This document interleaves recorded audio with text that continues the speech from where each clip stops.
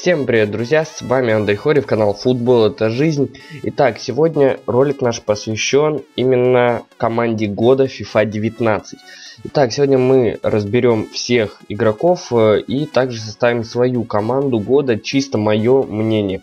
Э, я выскажусь по поводу каждого, которого возьму в свой состав. Итак, поговорим, начнем, давайте по возрастанию. Начнем мы с Алисона. Э, что я могу сказать про Алисона? Алисон конкурирует в сборной с Эдерсоном э, за место в основе и в рамке. По рейтингу, естественно, Эдерсон повыше будет Алисона. Э, по его заслугам играл в Роме летом, э, перешел в Ливерпуль, поэтому был полуфиналистом Лиги Чемпионов. Теперь он играет в Ливерпуле, перешел туда летом, еще раз я это сказал. Э, и Сейчас он идет на первой строчке вместе с этой командой. Действительно, Ливерпуль может стать чемпионом, он может э, высоко снова подняться, может даже и до финала дойти. Так что этот голкипер очень хороший и точно заслужил место в команде года. Льюрис э, только можно сказать, что просто чемпион мира. Все, э, по клубным вообще никак не себя не показал. Облак э, попал в команду, скорее всего, из-за Лиги Европы, из-за Суперкубка УЕФА который выиграл вместе с Атлетико, больше никак со сборной нигде не проявлял.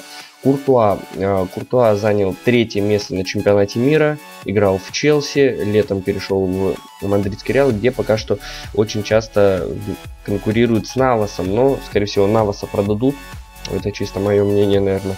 И Куртуа, ну, он очень всем заходит FIFA 19, просто тащер какой-то. Давид Дехея больше всех из этой пятерки мне симпатизирует, потому что мне нравится Манчестер Юнайтед. Без разницы, хоть это Жозе Мауриньо был тренером, хоть сейчас это Сульшер.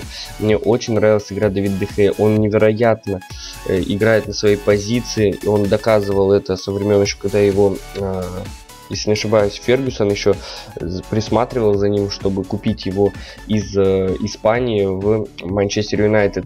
И он доказывает то, что не зря на него положились. В сборной, конечно, да, были э, много проблем. 3-3 э, с Португалией э, и вылет еще после 1-8 от сборной России. Но все равно я выберу, наверное, все-таки Давида Дехею. Итак, плавненько переходим к защитникам FIFA 19, именно претендентов на команду Тотти. Ну что же, здесь намного больше игроков, ну и намного быстрее я по ним пройдусь. Манолос, еще раз говорю, как и Алисон, он просто полуфиналист э, чемпиона, Лиги Чемпионов.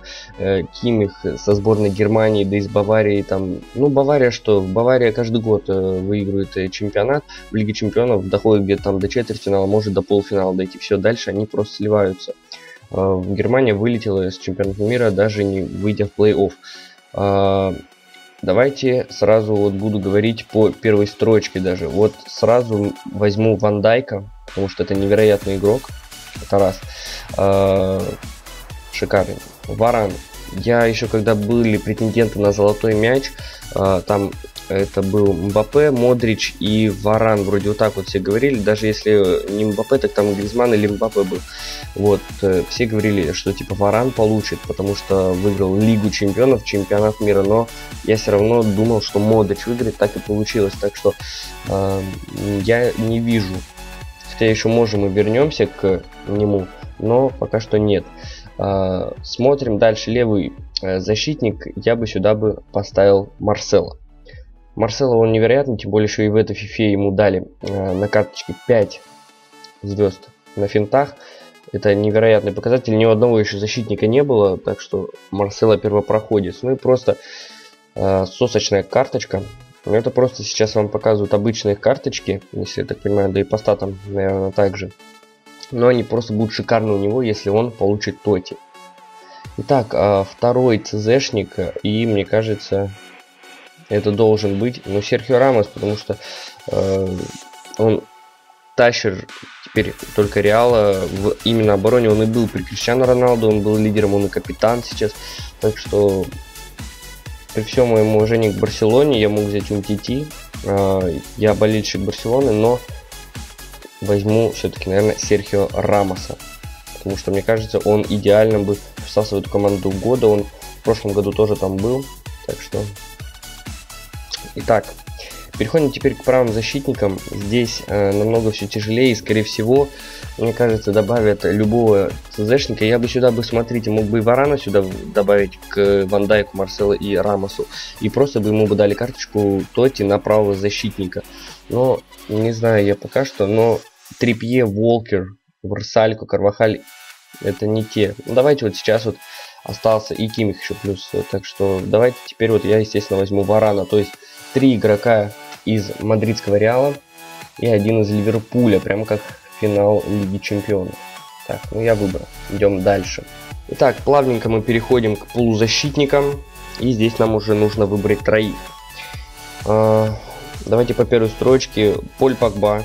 Для меня он до сих пор является... Я не знаю, почему на него все вот... Э, ну, не любят его, да, многие болельщики и Манчестер Юнайтед, да и просто болельщики футбола. За то, что он не играет в полную силу, что еще не раскрывается. И просто зачем его купили за такие деньги из Ювентуса в Манчестер. Мне нравился он еще и до перехода из Ювентуса в Манчестер. Мне нравилась его игра в Ювентусе. Э, и он остается главным лидером этого, наверное, не видно на поле, но мне кажется, в команде он все-таки действительно ключевой игрок. Поэтому возьмем Погба. Так, э, без сомнений мы возьмем сразу сюда Модрича и будем думать над остальными.